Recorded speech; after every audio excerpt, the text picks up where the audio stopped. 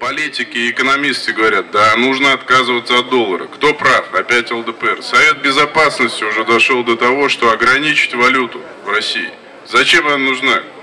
Эти курсы и игра на валютных рынках приводит только к обнищанию народа.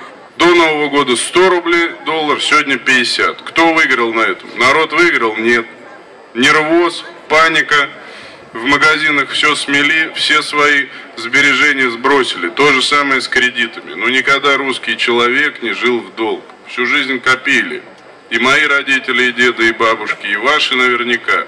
Складывались, что-то вместе строили. Всегда были плечом к плечу, особенно в Сибири. Но сегодня 90% имеют кредиты из 90-90% просрочено. Вместо того, чтобы в детей вкладывать, в медицину, в собственные дачные участки, вкладывают в то, чтобы гасить кредиты.